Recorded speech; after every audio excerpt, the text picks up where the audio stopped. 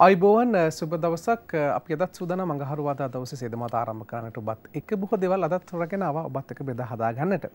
ඔබ දන්නවා මේ ජීවිතයේ සුන්දරත්වය අපූරත්වය පැහැපත් බව ස්වාගෙන එහා මෙහා දුවමින් අතරමන් වෙලා ලත වෙලා ඉන්න ආදරණීය සුන්දර යුවතියනි. ඔබට පුංචි පණිඩක් තිබෙනවා අපිට කියන්නට. ඒ තමයි ඔබේ සුන්දරත්වයේ පැහැපත් බව අපූරත්වය ළඟා කර ගන්නට ඔබ කුමක්ද කරන්න ඕන කියන කාරණේ සම්බන්ධව ඔබ දැනුවත් කරන්න සූදානම් වෙන්න අපි සිතමත කතා බහ ආරම්භයේදී අද. ඒ තමයි ඔබ දන්නවා සුබාදාමී රහස් ඔබට ගෙන එන නේච සීක්‍රට් සමග එක්කාසු අත්තල් බැඳගත්තොත් කොහොමද ඔබේ පැහැපත් බව සුන්දරත්වය ආරක්ෂා කරගන්න කියන කාරණේ සම්බන්ධව ඔබ දැනුවත් කරන්න අප සූදානම් වන්නේ අදත්. අපි ගිය සතියේත් ඔබ දැනුවත් කළා මේ කාරණාව සම්බන්ධව. නමුත් අප සූදානම් අද දීර්ඝ වශයෙන් ඔබට කියන්නට කොහොමද ඔබේ සුන්දරත්වය පැහැපත් බව ආරක්ෂා කරගන්නට?